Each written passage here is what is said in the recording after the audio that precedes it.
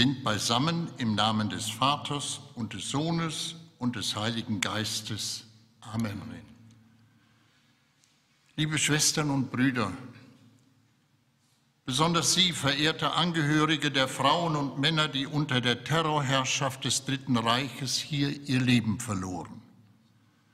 Superintendent Carsten Bolz und ich begrüßen Sie sehr herzlich. Wir stehen hier im Hinrichtungsschuppen Plötzensee aber wir sind nicht allein. Daran ändern auch die öffentlichen Anordnungen nichts, die uns dieses Jahr so sehr einschränken. Anwesenheit und Gegenwart sind nicht dasselbe. Gegenwart ist eine Sache des Herzens, Anwesenheit eine Sache des Leibes. Das Herz ist entscheidend. Plötzensee ist bei ihnen nie vergangen, sondern gehört zu ihrem Leben, berührt ihr Herz. Und so sind sie hier gegenwärtig. Plötzensee steht für den ganzen Herrschaftsbereich der Nationalsozialisten. Europaweit spielten sie sich auf als Herren über Leben und Tod und wollten in ihrem Wahn noch mehr. Heute gehört uns Deutschland und morgen die ganze Welt. Weltweit ist aber nur einem die Vollmacht gegeben, unser innerstes Herz anzusprechen und zu berühren, Jesus, dem Christus. Ihm antworten wir gern in aller Freiheit. Das wird dann Dietrich Bonhoeffer besonders deutlich. Unmittelbar vor Ausbruch des Krieges war er in Amerika und Freunde rieten ihm dort zu bleiben. Aber er wusste sich unter Gottes Wort gestellt, sah sich von Gott gerufen, mit Jesus Christus im Reich des Todes zu leben. Ja, dort zu sterben und aufzuerstehen. Nicht wenige standen auf ähnliche Weise vor der Frage gehen oder bleiben, schweigend mitmachen oder sich gegen das Mordregime empören und verschwören. Sie lernten in inneren Kämpfen, man muss Gott mehr gehorchen als den Menschen. So wurde das Wort Gottes, das Gerechtigkeit bezeugte, hier in Plötzensee anschaubar, wie es vorher auf Golgatha anzuschauen war. Das Wort Gottes spricht immer in die Gegenwart. Auch wir müssen deswegen hier in Plötzensee sein, nicht nur aus guter Tradition, sondern weil auch wir unter dem Wort Gottes stehen. In großer Freude haben wir in den vergangenen Jahren das Herrenmahl hier gefeiert. Heute steht das Wort des Herrn ganz im Vordergrund. Das Wort Gottes bleibt im Plötzensee gefährlich. Es fordert nämlich Konsequenzen. Analog zum äußerst kritischen Wort des Apostels Paulus über die Feier des Herrenmahls in Korinth müssen wir uns heute sagen lassen, wer die Feier des Wortes zum Ritual verkommen lässt, der spricht und hört sich das Gericht. Wie aber in der Zeit der körperlichen Pandemie und mehr noch in der weltweiten geistigen Pandämonie, in der Menschen sich nach Gutdünken Götter schaffen, das Wort des wahren Gottes ausrichten. Einfach moralisieren hat nie besonders geholfen. Wenn es aber an die Substanz geht, woher nehmen wir die Kraft? Gott verlangt nichts Unmögliches. Wo er nicht gesät hat, da erwartet er auch keine Ernte. Er beschenkt uns zuerst durch seine leibhafte Zusage mit ewig bleibendem Leben, das durch uns weiterströmen will in die Welt. Er beschenkt uns durch das Zeugnis der Märtyrer vom Plötzensee. Das dürfen wir in dieser Stunde in uns Wurzel schlagen lassen. Ja, wir müssen es sogar, denn ohne Jesus können wir nichts tun. Mit ihm aber kann auch heute lebendiges Zeugnis für den Gott des Lebens in unserer Mitte erwachsen. Wir können Klarsicht gewinnen über die Kultur des Todes, die sich besonders im reichen Norden der Welt ausbreitet. Weitsicht zu den Völkern, die im Schatten des Todes hausen müssen und Entschiedenheit zum Teilen mit den Bedürftigen. Die Grundlage dazu möge er uns schenken. Und so ehren wir den dreieinigen Gott und rufen ihn an. Gott ewiger Vater, so sehr hast du die Welt geliebt, dass du deinen ewigen Sohn gesandt hast, um die Welt aus der Macht des Todes zu retten. Herr, erbarme dich. Herr Jesus, Sohn des lebendigen Gottes, du hast unser menschliches Leben geteilt und für uns dein Leben hingegeben. Christus, erbarme dich. Gott, Heiliger Geist, wunderbare Gabe Gottes, uns geschenkt, damit wir als liebende, neue und unsterbliche Menschen werden. Herr, erbarme dich.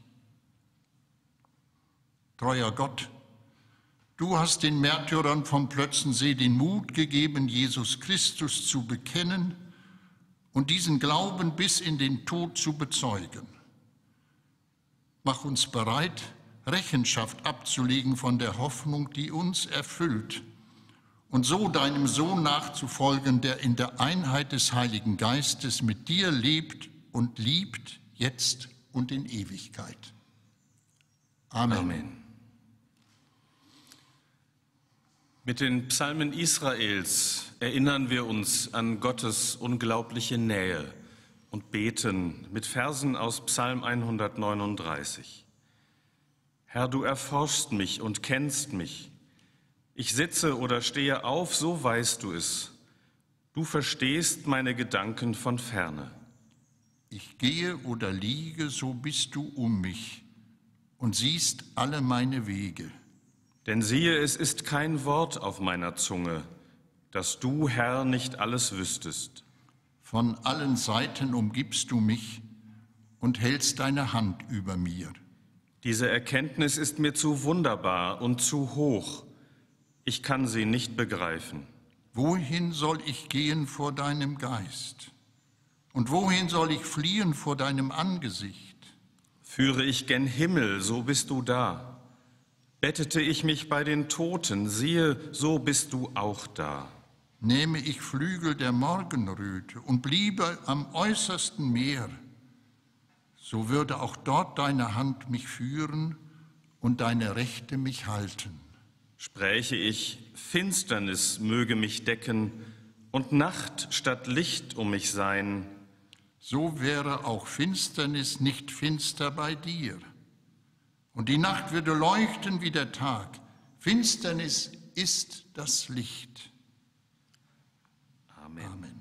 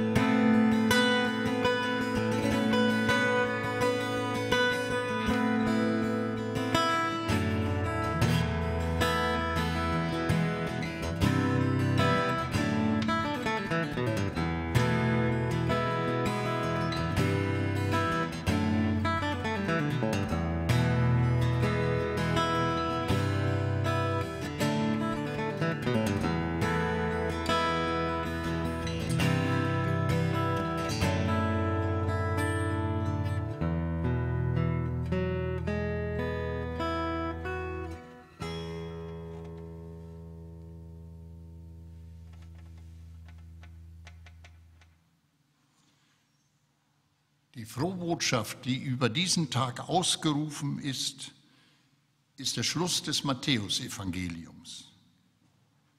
Die elf Jünger gingen nach Galiläa auf den Berg, den Jesus ihnen genannt hatte. Und als sie Jesus sahen, fielen sie vor ihm nieder, einige aber hatten Zweifel. Da trat Jesus auf sie zu und sagte zu ihnen, mir ist alle Vollmacht gegeben im Himmel und auf der Erde. Darum geht und macht alle Völker zu meinen Jüngern, tauft sie auf den Namen des Vaters und des Sohnes und des Heiligen Geistes und lehrt sie alles zu befolgen, was ich euch geboten habe. Und siehe, ich bin mit euch alle Tage bis zum Ende der Welt.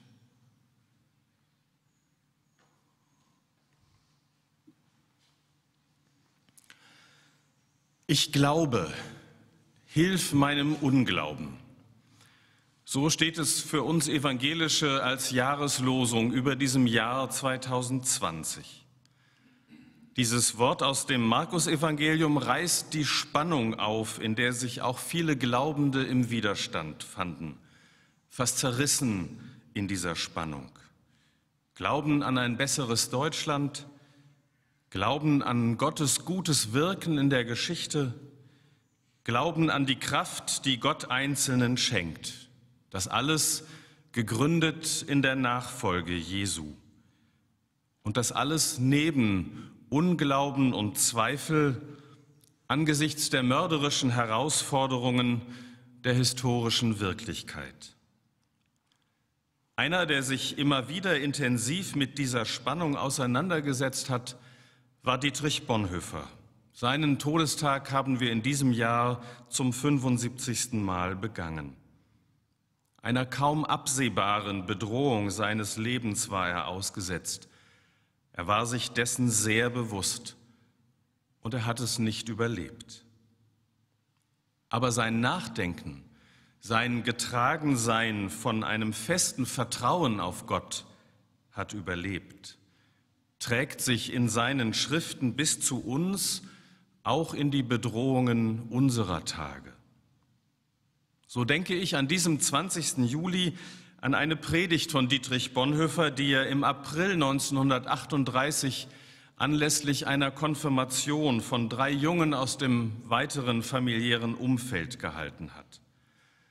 Als Predigtext diente ihm dieser Vers, der uns in diesem Jahr Jahreslosung ist. Ich glaube, hilf meinem Unglauben. Mit seiner Predigt wollte Bonhoeffer die Jungs auf die Bedrohungen vorbereiten, mit denen er wachen Sinnes schon 1938 gerechnet hatte. Und dabei kommt er in seiner Predigt zu einer für mich zunächst irritierenden Interpretation dieser Bedrohungen, dieses unvorhersehbaren, dieses vorhersehbaren Leidens, auf das sich die Jungs einstellen sollten. Bonhoeffer schreibt, Euer Glaube wird geprüft werden durch Leid. Ihr wisst noch nicht viel davon. Aber Gott schickt seinen Kindern das Leid gerade dann, wenn sie es am nötigsten brauchen, wenn sie allzu sicher werden auf dieser Erde. Da tritt ein großer Schmerz, ein schwerer Verzicht in unser Leben, ein großer Verlust, Krankheit, Tod. Unser Unglaube bäumt sich auf, warum fordert Gott das von mir? Warum? Ja, warum? Das ist die große Frage des Unglaubens, die unseren Glauben ersticken will. In dieser Stunde der Gottverlassenheit dürfen und sollen wir sprechen, ich glaube, lieber Herr, hilf meinem Unglauben. Ja, lieber Herr, auch in der Gottverlassenheit, du hast ja selbst gerufen, mein Gott, warum hast du mich verlassen? Du wolltest sein, wo ich bin. Nun bist du bei mir. Nun weiß ich, dass du auch in der Stunde meiner Not mich nicht verlässt. Soweit Dietrich Bonhoeffer. Gott schickt seinen Kindern das Leid gerade dann, wenn sie es am nötigsten brauchen, wenn sie allzu sicher werden auf dieser Erde. Dieser Satz irritiert mich. entspricht nicht dem Bild, das ich von Gott habe, dem Bild, das mir Christus von Gott vermittelt hat. Und doch lässt er mich fragen, ob da etwas dran sein könnte, ob sich eine Zeit des Leidens und der Entbehrung auch so deuten ließe. Ich hadere mit diesem Gedanken und kann ihn nicht zu Ende denken. Wo wäre dann Gott darin? Nein, so kann ich das nicht glauben. So ist Gott nicht für uns da. Gott schickt nicht Leid, weil wir es brauchen. Gott hat nicht Adolf Hitler und seinen nationalistischen Wahn geschickt, damit Menschen durch das Leiden zu Gott finden. Nein, Gott hat Christus in die Welt geschickt und uns in dessen Nachfolge gestellt. Im Vertrauen auf Christus, als getaufte Christenmenschen in seiner Nachfolge, dürfen wir wissen und es auch glauben, dass wir in allem Leiden nicht allein sind und, und das ist das andere, dass das Leiden mit zu dieser Nachfolge dazugehört. Wir dürfen glauben, dass wir in allem Leiden nicht allein sind und dass das Leiden mit zu dieser Nachfolge dazugehört. Und in diesem Leiden lässt Gott nicht allein, selbst wenn das zuweilen so scheinen mag, insbesondere in den Mörderhöhlen nationalsozialistischer Verbrecher wie hier in Plötzensee. Jesus am Kreuz betet mit den Psalmworten, Mein Gott, mein Gott, warum hast du mich verlassen? Und viele haben damals in Plötzensee genauso gerufen. Mein Gott, mein Gott, warum hast du mich verlassen? hat Jesus selber am Kreuz gefragt, geklagt, gebangt. Erst später haben andere darunter oder dahinter gleichermaßen auch Gottes Zusage entdecken können. Paulus zum Beispiel, wenn er schreibt, Gott war in Christus und versöhnte die Welt mit ihm selber. Gott war nicht irgendwo fern von Golgatha, Gott war in Christus. Gott hielt sich nicht raus aus dem Leiden, Gott war mit dabei, hat mitgelitten, mitgebangt, geklagt, gefragt. Ja, auch in der Gottverlassenheit hast du ja selbst gerufen, mein Gott, warum hast du mich verlassen? Du wolltest sein, wo ich bin. Nun bist du bei mir. Nun weiß ich, dass du mich auch in der Stunde meiner Not nicht verlässt. Diesen Gedanken von Dietrich Bonhoeffer nehme ich mit in diesen 20. Juli, diese nachdrückliche Erinnerung daran, dass Gott sich aus dem Leiden nicht heraushält, sondern es mitträgt, bei uns ist, auch wenn wir das kaum fassen können. Und dass Gott aus diesem Leiden sogar Gutes wachsen lassen kann. Denn viel Gutes ist aus diesem Leiden tatsächlich gewachsen, später. Heute können wir das so sehen. An Demokratiebewusstsein, an Menschenrechtsarbeit, an hoffnungsstiftenden Taten. Ja, ich ahne, Gott ist mit uns auch an Orten wie Plötzensee. Ich ahne, Gott will sein, wo ich bin, wo wir sind, wo unsere Lieben waren und wo sie jetzt sind. Das glaube ich. Hilf meinem Unglauben. Amen.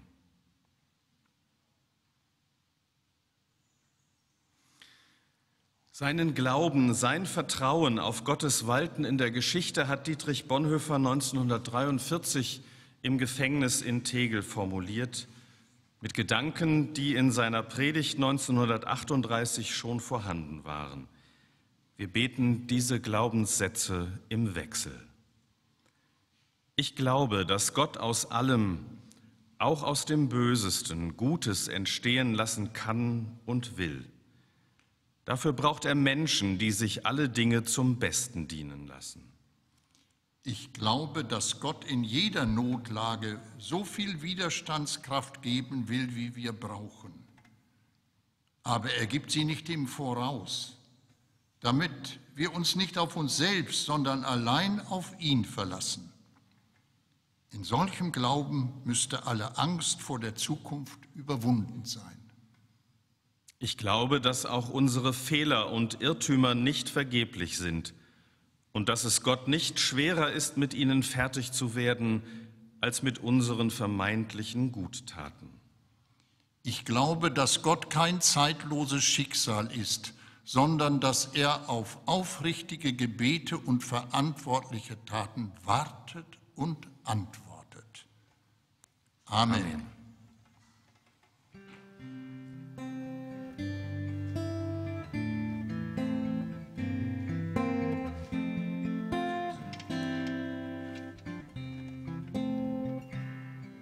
Von guten Mächten treu und still umgeben, behütet und getröstet wunderbar. So will ich diese Tage mit euch leben und mit euch gehen in ein neues Jahr. Von guten Mächten wunderbar geborgen, erwarten wir getrost, was kommen mag. Gott ist bei uns am Abend und am Morgen und ganz gewiss an jedem neuen Tag. Noch will das Alte unsere Herzen quälen, noch drückt uns böser Tage schwerer Last. Ach Herr, gib unseren aufgeschreckten Seelen das Heil, für das du uns geschaffen hast von guten Mächten wunderbar geborgen. Erwarten wir getrost, was kommen mag. Gott ist bei uns am Abend und am Morgen und ganz gewiss an jedem neuen Tag. Und reichst du uns den schweren Kelch, den Schatten des Leids gefüllt bis an den höchsten Rand.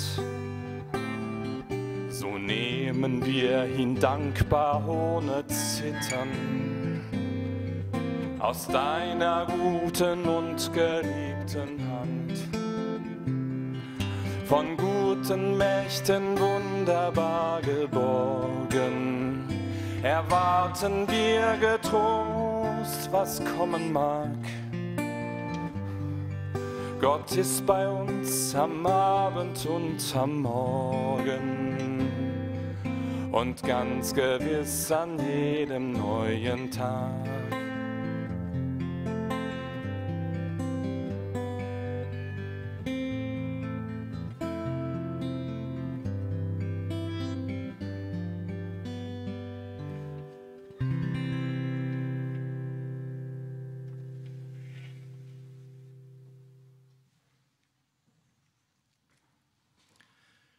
Lasst uns füreinander und miteinander beten. Die Schwestern vom Karmel Regina Martyrum, denen wir an diesem Ort besonders verbunden sind, haben das Gebet für uns vorbereitet. Gemeinsam mit allen, die diesen 20. Juli nicht hier in Plötzensee sein können, verbinden wir uns im Gebet, im Vertrauen auf Gottes Mitgehen und Gottes Sorge. Wir danken für Frauen und Männer, die damals vor 76 Jahren um des Lebens willen gestorben sind, die sich zum Guten bekannt haben und mit aller Kraft gegen den Strom geschwommen sind. Wir bitten für uns und alle, die heute in besonderer Verantwortung für andere stehen, für unser Land, für Europa, für unsere Welt um Mut und Einsicht für das rechte Wort und das rechte Tun zur rechten Zeit. Wir bitten dich, erhöre uns. Wir beten für alle Menschen, die am Coronavirus erkrankt sind, für alle, die Angst haben vor einer Infektion, für alle, die sich nicht frei bewegen können, für Ärztinnen und Pflegekräfte, die sich um die Kranken kümmern, für die Forschenden, die nach Schutz und Heilmitteln suchen, dass Gott unsere Welt in dieser Pandemie in seiner Hand halte. Wir bitten dich, erhöre uns. Wir danken dir, Gott des Friedens, dass wir trotz allem so viele Jahre in Frieden in unserem Land leben dürfen. Wir denken an die Menschen, deren Leben von Hunger und Krieg bedroht ist, in Syrien, im Sudan, in der Ukraine, in Israel und Palästina, in allen Kriegs- und Krisengebieten unserer Erde. Erbarme dich dieser Not. Wir bitten dich, erhöre uns. Unser Rechtsstaat ist gefährdet, Gott. Extremismus breitet sich immer mehr aus und ist eine große Gefahr. So bitten wir für uns heute um Kraft zu widersprechen und unsere Demokratie und Freiheit zu schützen. Hilf uns, wachsam zu sein und entschieden zu handeln, wo wir gefordert sind. Wir bitten darum, dass sich auch unsere Kirchen zu Wort melden und sich einmischen. Wir bitten dich, erhöre uns. Wir bitten für Europa, gerade jetzt, da Deutschland eine besondere Verantwortung übernommen hat, dass die Öffnung zur Welt und der Dialog mit anderen Staaten gestärkt werden und dass nationaler Egoismus nicht um sich greift. Wir beten für alle Menschen, die auf der Flucht waren und es sind, dass sie dem Leben wieder trauen können Führe sie mit der Hilfe guter Menschen an Ziele, an denen sie aufgenommen werden und aufleben können, an denen ihnen eine Zukunft geschenkt wird. Wir bitten dich, erhöre uns. Öffne uns die Augen und Herzen füreinander, damit wir Not wahrnehmen und solidarisch handeln. Schütze unser aller Leben, besonders das der jungen Menschen und Kinder. Bewege die Herzen derer zur Umkehr, die Böses planen. Hilf unseren Politikern, nach den hohen Werten des Grundgesetzes zu handeln. Wir bitten für alle Menschen unterschiedlicher Religionen, Konfessionen und Weltanschauungen, dass wir einander achten und die Suche nach Gott wachhalten und gemeinsam an einer friedlichen Welt mitbauen. Wir bitten dich, erhöre uns.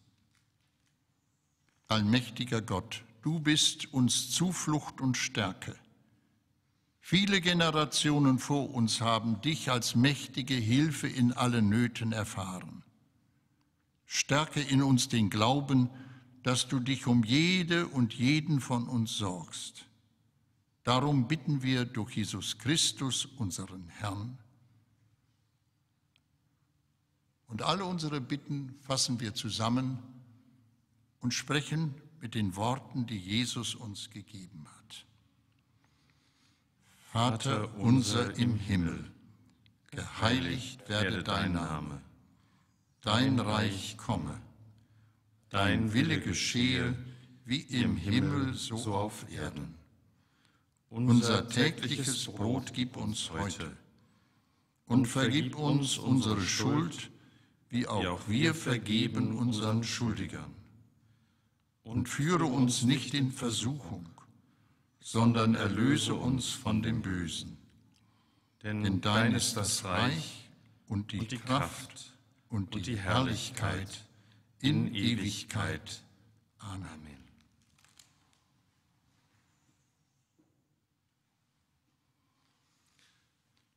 Der Herr segne euch und behüte euch. Der Herr lasse sein Angesicht leuchten über euch und sei euch gnädig. Der Herr hebe sein Angesicht auf euch und schenke euch Frieden.